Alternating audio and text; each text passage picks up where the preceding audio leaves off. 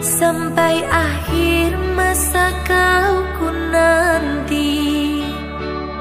Hanya kau yang aku sayangi.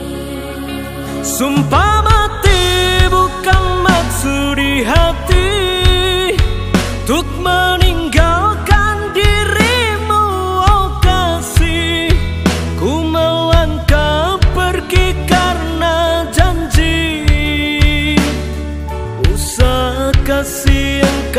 bersedih